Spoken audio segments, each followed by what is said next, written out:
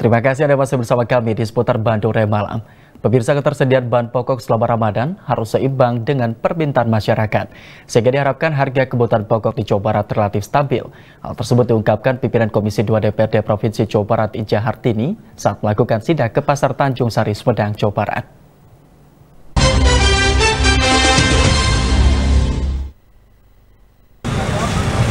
Ketersediaan bahan pokok harus seimbang dengan permintaan masyarakat sehingga diharapkan harga berbagai bahan pokok di Jawa Barat relatif stabil.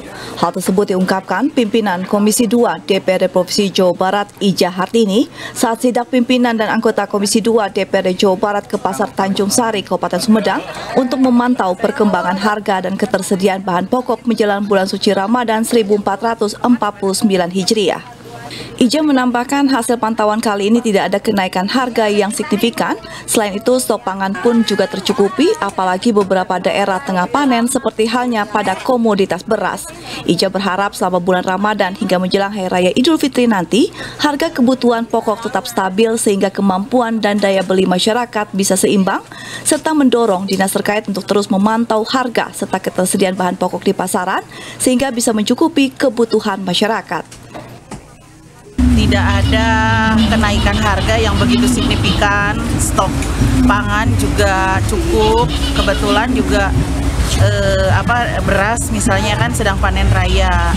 Terus eh, telur, ayam, daging semuanya juga lancar, pasokan lancar eh, dan eh, persediaan juga cukup terus dipantau untuk supaya eh, apa persediaan eh, per, eh, apa persediaan dan permintaan itu seimbang.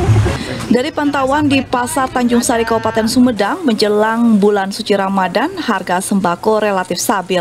Beberapa komoditi bahkan mengalami penurunan seperti beras kualitas 1 hingga 4 dari sebelumnya berkisar Rp10.000 hingga Rp12.000 menjadi Rp9.000 hingga Rp11.000.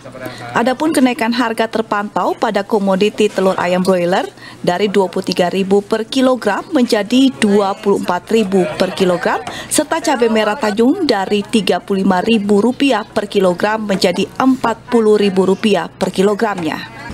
Humas DPRD Provinsi Jawa Barat melaporkan.